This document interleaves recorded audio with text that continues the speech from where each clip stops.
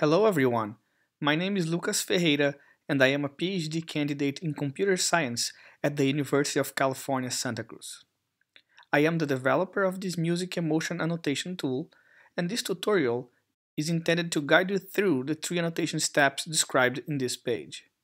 In order to make this tutorial as short as possible, I'm going to annotate only a small part of one piece. Let's first take an overall look at the annotation tool. On the right hand side, in red, you have the instructions to the interface that you can use to annotate the piece. As it clearly states, you can press and hold the point at a given position to annotate the piece.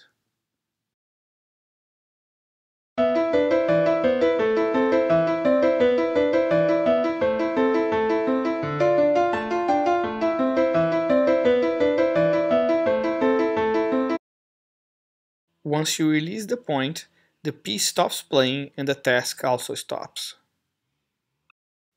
Moreover, you can click anywhere in the circle to move the point to that position without annotating the piece. Also, on the right hand side, you have the definitions of valence and arousal as well as the progress bar. This bar represents how far you are from finishing the current step. In this case, the calibration step. Let me now go ahead and finish the calibration step. Remember that the goal of this step is to pick the starting point of the annotation.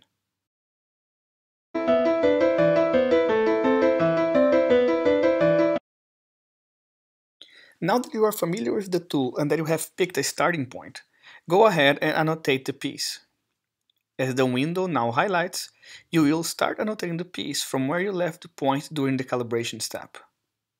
It is important to keep in mind that, normally, music pieces do not change emotions very drastically.